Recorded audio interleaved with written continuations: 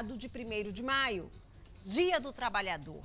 E a gente resolveu aqui homenagear os trabalhadores que estão na linha de frente ao combate do novo coronavírus. Aqueles profissionais que nesse momento estão sendo chamados de heróis são os profissionais da saúde, né, médicos, enfermeiros, técnicos de enfermagem, fisioterapeutas, muitos outros, né, até o pessoal que trabalha na limpeza dos hospitais, que precisam manter o hospital funcionando, né, nutricionistas, enfim, é uma equipe vasta para fazer um hospital funcionar.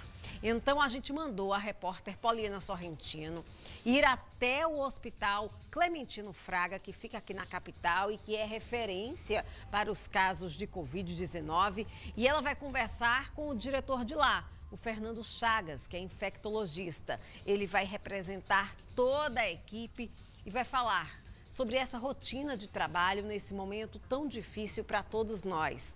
Então, Poliana.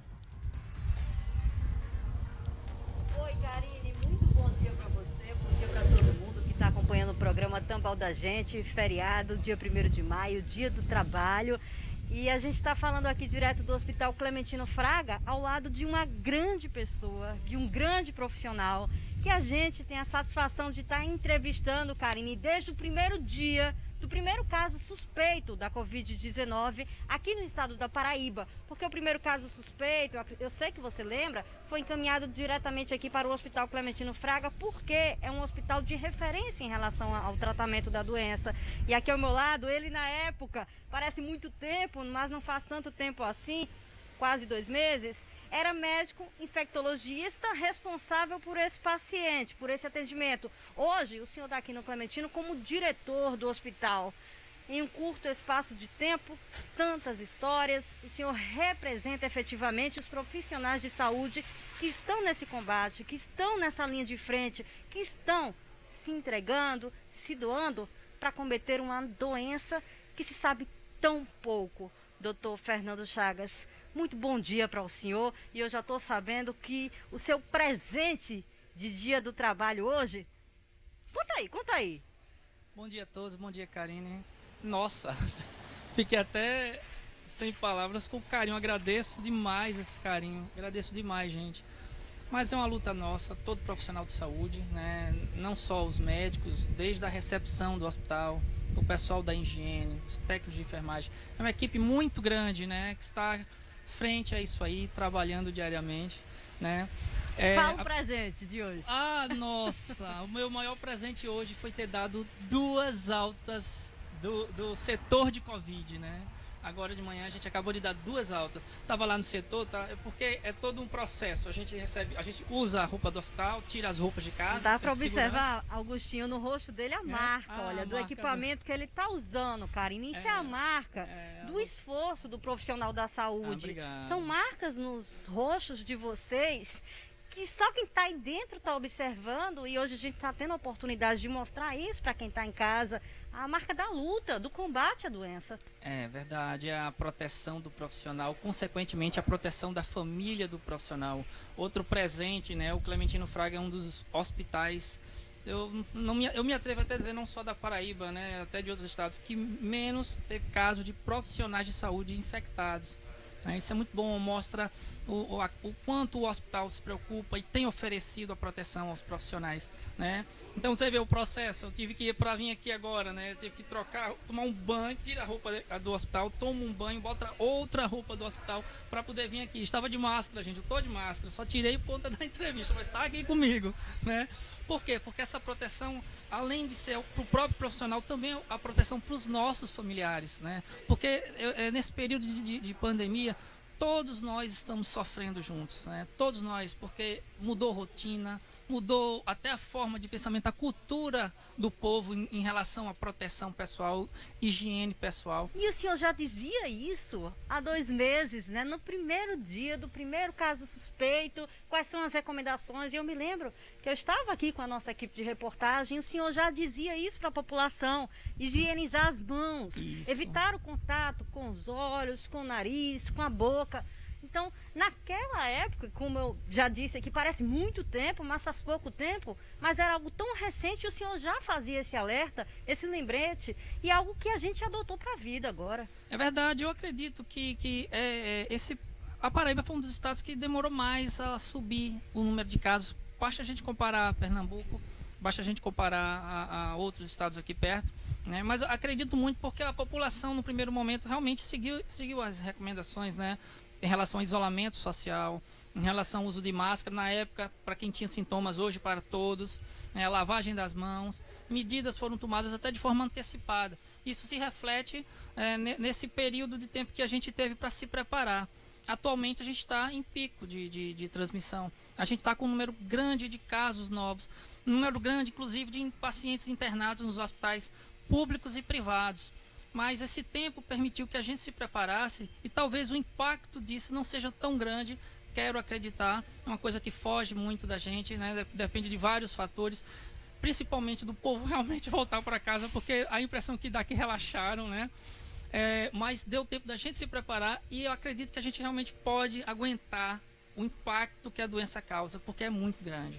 Doutor Fernando, o senhor já me antecipou que duas pessoas receberam alta. Eu sei que o hospital precisa repassar os dados primeiro para a secretaria e a secretaria é quem faz a divulgação uhum. para a imprensa. Mas tem como o senhor passar um panorama geral de como é que está a situação hoje aqui no Clementino Fraga?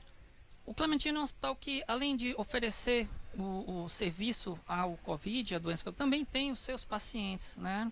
Também tem os seus pacientes com HIV, com tuberculose, com hanseníase. Então é um, hospital que tem, acaba tendo um trabalho duplo, né? A gente até divide as equipes, é tudo, tudo pensado, planejado, mas que dá um trabalho muito grande. No setor de Covid, a gente está realmente com uma quantidade grande né, de leitos ocupados tanto enfermaria quanto UTI. Os números oficiais realmente, pelo que fica a cargo da secretaria, porém, posso adiantar para você, vocês que tem sido muito corrido. Né? A gente tem, tem sentido realmente o grande, porque a doença ela não consome só o paciente. Né? Além do, do, risco que ela traz para a saúde do paciente, ela consome todo o sistema de saúde. Então, o trabalho para manter a segurança do profissional, a segurança do paciente o cuidado e assistência ao paciente é muito grande. A gente está sentindo isso agora, né? E me assusta muito ver as pessoas na rua ainda Recentemente eu precisei pegar um documento próximo do setor ali da praia. As pessoas estavam na praia, as pessoas estavam na rua, como se nada tivesse acontecendo. Gente, é, é, eu sei da nós sabemos das questões sociais é, relacionadas ao isolamento social, mas acreditem, o impacto da doença pode ser muito maior. Tá? Muito maior, que se reflete em toda a sociedade. É, muita gente está adoecendo, gente, muita gente mesmo. Doutor Fernando Chagas, além de médico, infectologista, esse homem que a gente acompanha ah, e que a gente acabou, Karine, devido à convivência, não só com o doutor Fernando Chagas, mas com o doutor Walter Brandão lá do Hospital São Luís, doutor Walter Paiva, com outros profissionais da saúde também, como maqueiros, como enfermeiras, técnicos de enfermagem, o pessoal da limpeza também, que é de extrema importância, que faz a limpeza do piso, a limpeza dos leitos. A todas essas pessoas se sintam homenageados nesse momento, porque a gente trouxe aqui um buquê que foi preparado com rosas amarelas obrigado.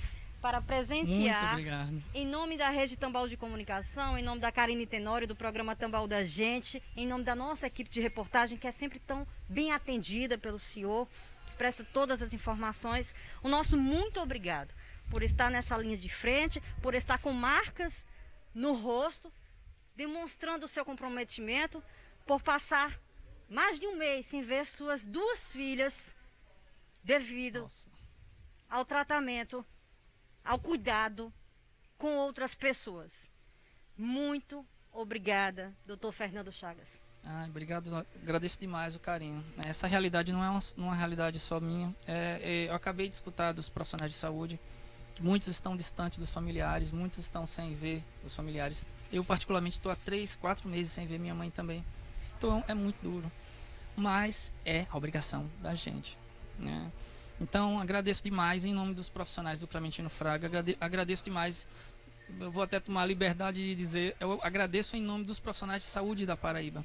E eu tenho certeza que todos que estão na linha de frente estão realmente comprometidos é, em tentar diminuir o sofrimento do povo. Muito obrigada, doutor Fernando. E o senhor pode sim tomar essa liberdade, como eu disse, Karine, foi o primeiro médico a atender o primeiro paciente com suspeita de Covid-19 no estado da Paraíba. E a gente vai encerrando aqui essa participação, essa homenagem, Karine, lembrando e ressaltando que as rosas amarelas significam saúde, amizade, um elo que a gente vai firmando ao longo da nossa trajetória profissional também. E agradecer a parceria da Floricultura da Independência, que foi quem disponibilizou esse presente para os profissionais de saúde do estado da Paraíba. Sintam-se representados. Eu volto com você no estúdio, Karine. Obrigada, Pauliana. Olha, eu confesso que eu me emocionei bastante quando a Pauliana falou que ele estava há dois meses sem ver as filhas e eu pude perceber no doutor Fernando a emoção que aquilo causou no momento em que a Pauliana citou isso a gente vê que existe uma luta interna também, né, para controlar as emoções, né, para controlar a saudade das pessoas que ele ama e que também para proteger ele está se mantendo distante. Que a forma dele demonstrar amor pela mãe, pelas filhas, está sendo se manter distante. Então, esse foi apenas um gesto de carinho em todas as pessoas que estão trabalhando na área da saúde nesse momento para garantir que as pessoas contaminadas pela Covid-19 possam conquistar de volta a saúde. E é muita gente trabalhando nos hospitais, nas UPAs, nos postos de saúde nesse momento profissionais de saúde e profissionais que dão suporte também aos profissionais de saúde. Olha, o pessoal que trabalha na cozinha, o quanto que é importante, né? É, o pessoal que trabalha na limpeza, enfim, é uma equipe vasta, até quem trabalha na manutenção de equipamentos que são necessários nesse momento, enfim, é muita gente engajada para fazer com que essa luta seja vencida. E aí, das palavras do doutor Fernando Chagas, eu tiro também essa observação de que é impressionante como tem muita gente na rua como se nada tivesse acontecendo. Gente, quando eu vim trabalhar,